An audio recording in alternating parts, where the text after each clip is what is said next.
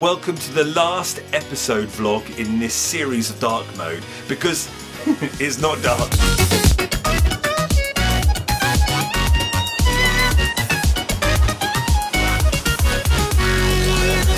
What is it now? Uh, quarter past seven in the evening here and it's still beautifully sunny. Uh, so it makes sense to finish uh, this season off. Um, and boy, have I got an episode for you to finish off with. Two knits on two locations because I wanted to make it special and go out on location. And the first knit is this one that I'm wearing for you now. This is what I call my Game of Thrones coat.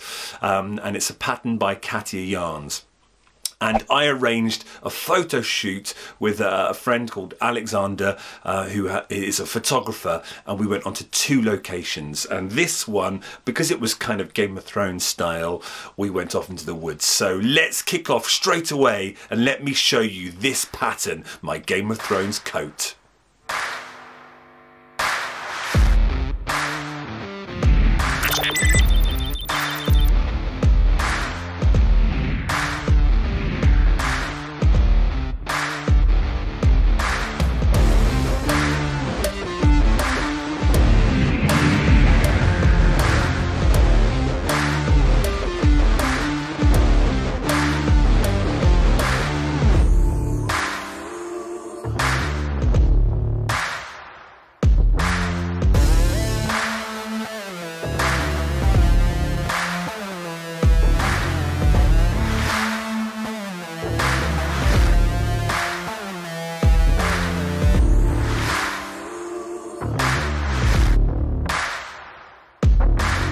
Sutton Heath, everyone. There's Alex. Little Wayne. Look, me and the Game of Thrones cardigan having a shoot. We wanted it mean and moody, and it's now bright and sunny. It's a beautiful day. It's probably going to be the hottest day so far this year. There. We're off to take some pictures.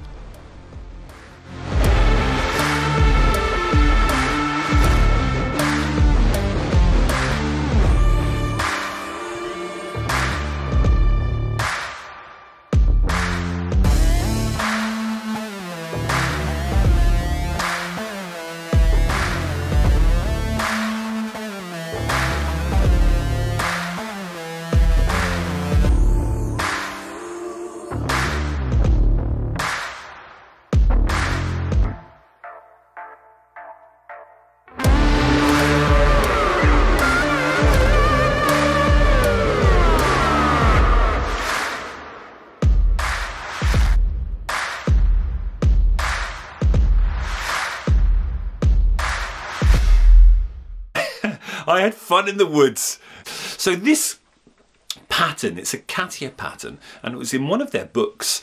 Um, you can buy it online. Uh, I'll put the, the link in the description below.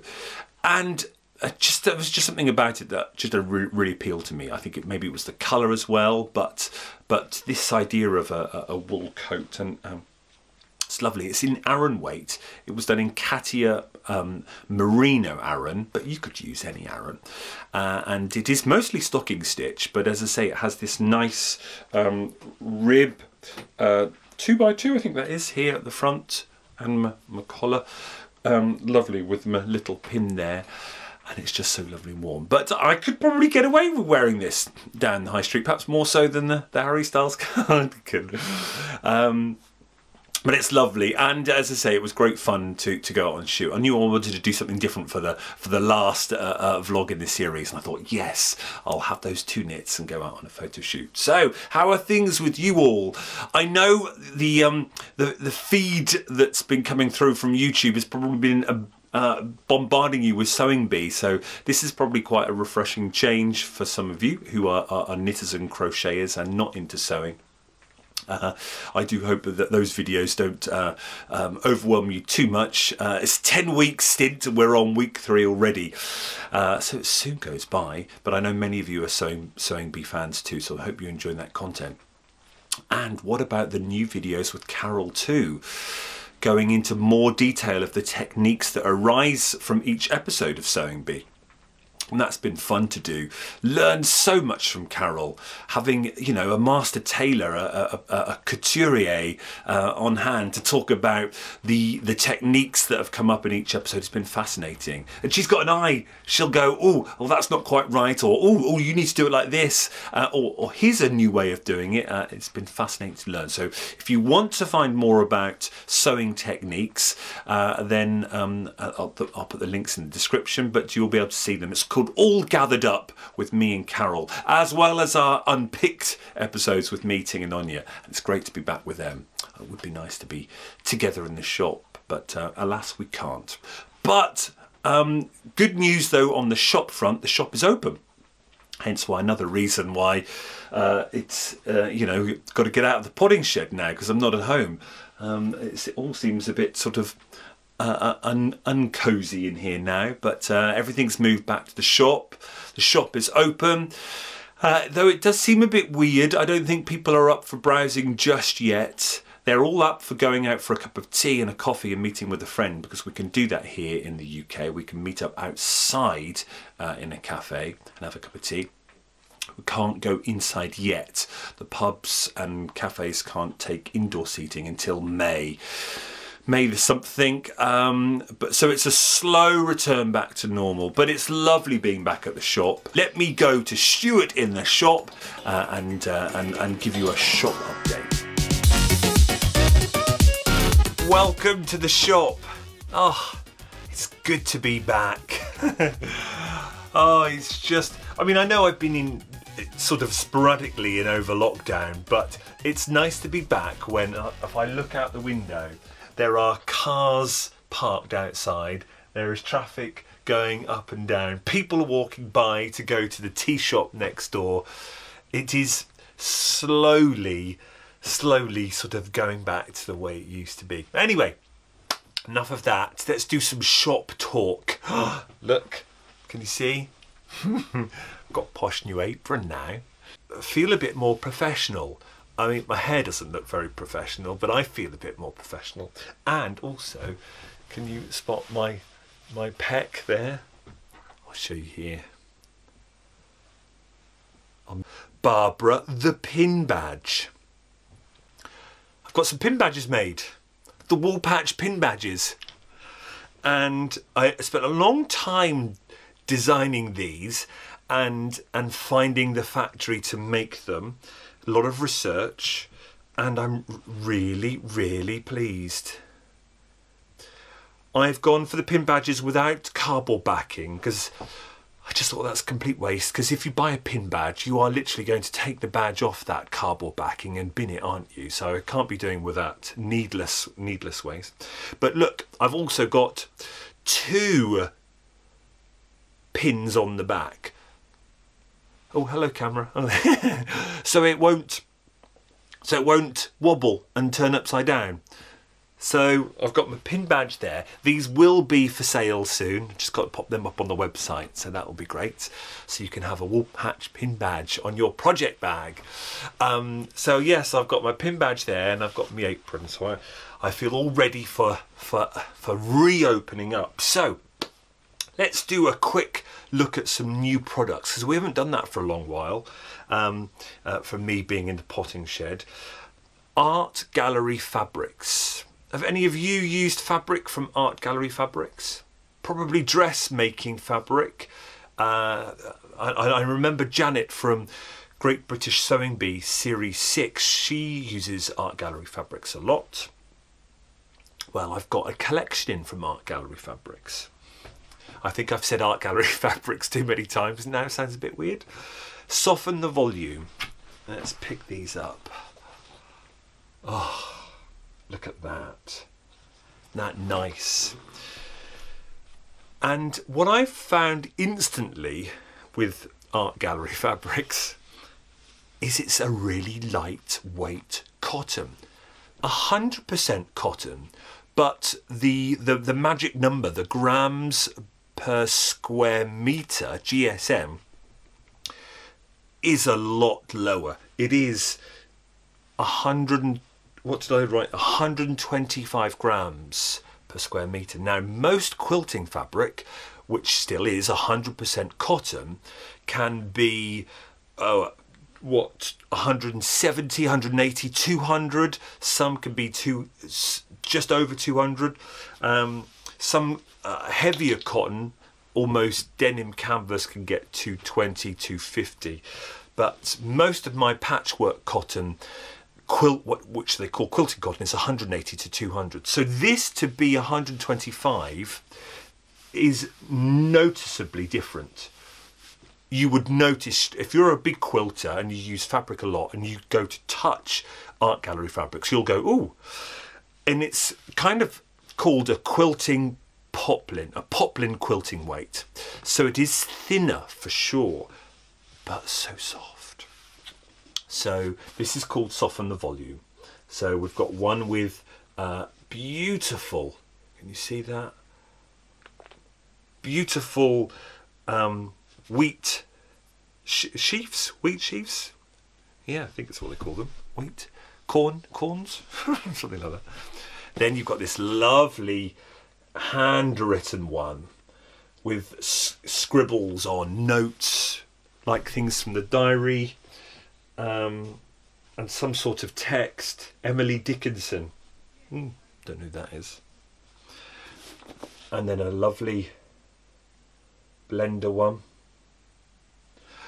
more beige on beige that one and then this lovely modern fresh white with little arrows fabulous collection uh, and as I say when you then hold them up like that doesn't that look adorable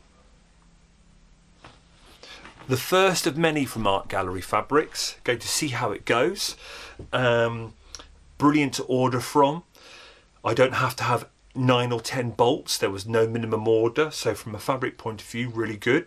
Um, and we'll see how it goes. I've made some bundles up.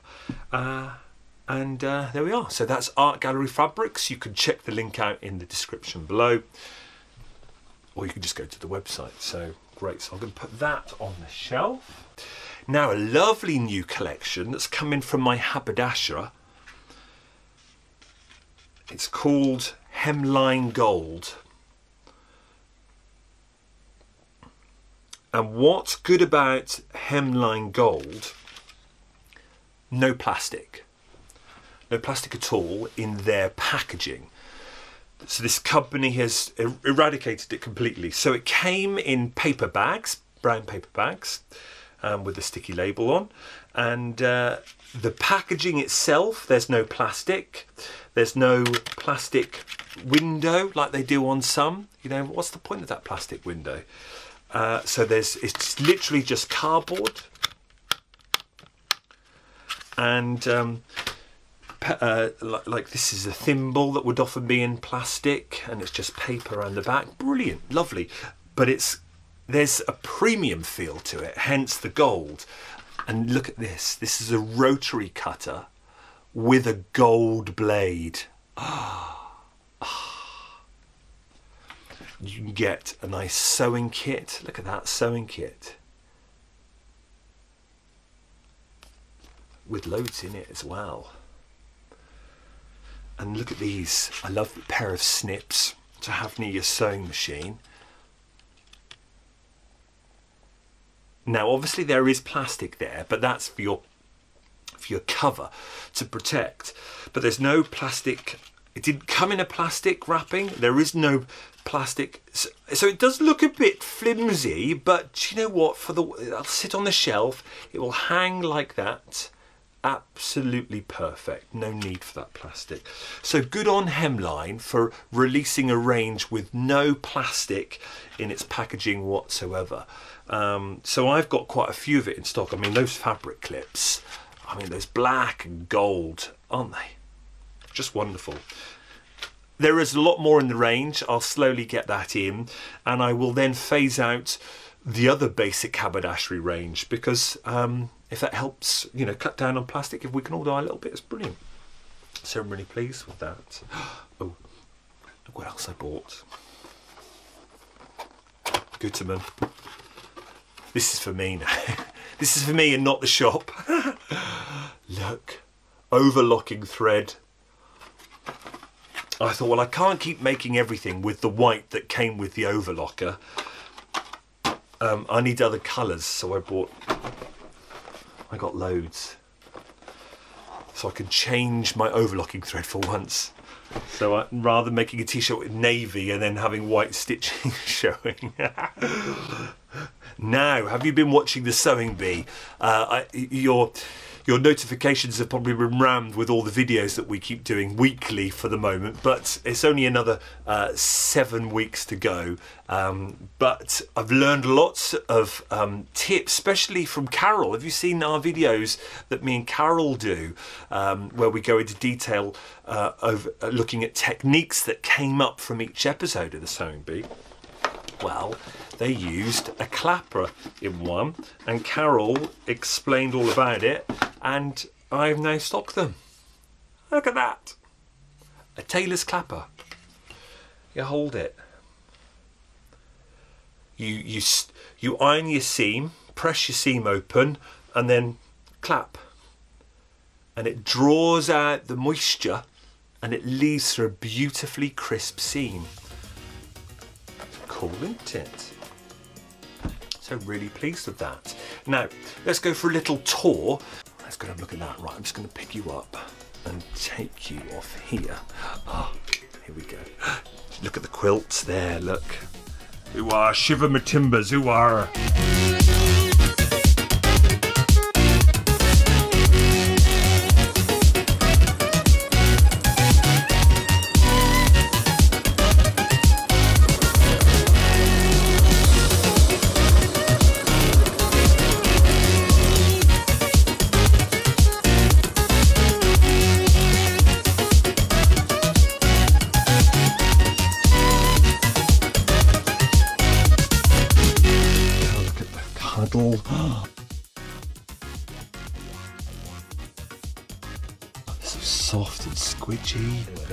Here.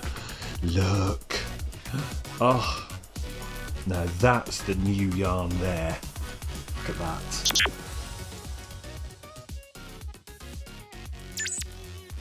And some is variegated. Colour Lab. 100% British wool. And there's my gold display, the new haberdashery line.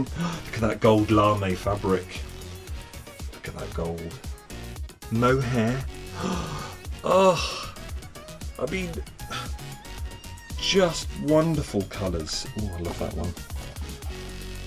Wonderful to be back, but um, well, do you want to see the mess that is at the back here? Oh, I can't wait till I have the ladies back having tea and coffee all day. Oh, miss them. Uh, oh, did I show you the curtain? Mustn't forget the curtain. This is me and Jen's wonderful work over lockdown. Can you remember at the back? Let's move Mrs. Lady over. That's where all the yarn is kept. And it was just unsightly seeing those cardboard boxes. But now, look. Wonderful curtain. We made that in lockdown. I pieced these together. Jen then made loads of log cabin squares, blocks, sewed them all together, and then look, it covers up the back room. Wonderful, isn't it? Thanks, Jen, for that. We had great fun doing that. Hopefully, Jen will be able to come back soon. Oh, let's pull that out, and we can then go back to our fun days cleaning together. Um, it is a bit of a mess over there really lovely to talk to you from the shop. Uh, but that's about it, so I'll hand you back over to Stuart in the potting shed for the last part. See you. Bye. Was nice, wasn't it? It was. It seemed kind of proper me there in the shop. Uh, it's been. It has been lovely being back. Let's go to the gallery and see all your wonderful finished makes for the last time.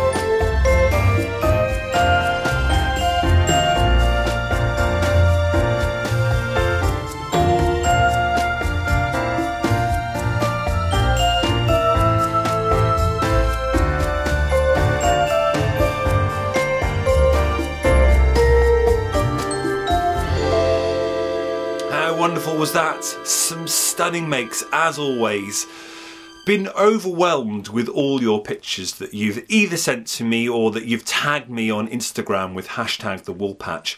It's been phenomenal seeing all your makes. Um, and when we come back with a new season from the shop, I'm sure the gallery will be back uh, in its rightful place because it's just wonderful seeing what what you all do and it's inspired so many people because we've got better at putting in what it is you're making and some of you included the the designer and the pattern name so people can write it down and perhaps do it themselves. So thank you for doing that. And uh, here's another finished make. I feel like Sue Cook from um, Children Need. Can you remember? Was it Sue Cook? Was that her name? Yes, with Terry Wogan years ago. Um, they used to start that fundraising from like seven all the way through to one, and she would every sort of two hours or so she would come out in a new in a new frock well, uh, that's like me now. So this is me in the special hand knit that Colin has done for me. Colin, it's phenomenal. Look at it. Beautiful. Really, really. I'm, it's actually it's cooling down a bit here in the potting shed actually, so it's quite nice to wear now. But yes, I think you might have seen a sneak peek of it in a couple of, of vlogs ago. You saw his uh, painting uh, of the design, of the outline uh, uh of, of what this pea jacket was going to look like. Well, it's done, it's finished, and it is phenomenal. Um, so I had another photo shoot with Alexander. The same day we had two locations. Well, this location is a oh stunning location uh, on a beach. It's called Shingle Street. It is wonderfully bleak and I thought, yes, that will be great for our, our final vlog for a photo shoot there with Alexander. Um, I wanted it, uh, as I said, bleak, so I was hoping for a dull day, rainy, hopefully windy, so we could get some really cool stylized shots. Yes, it was that day where, you've just seen me in the woods it was boiling hot and sunny, not a cloud in the sky. It was like, but it was lovely being on the beach. So uh, take a look at this little sequence of me in my pea jacket knitted for me by the wonderful Colin.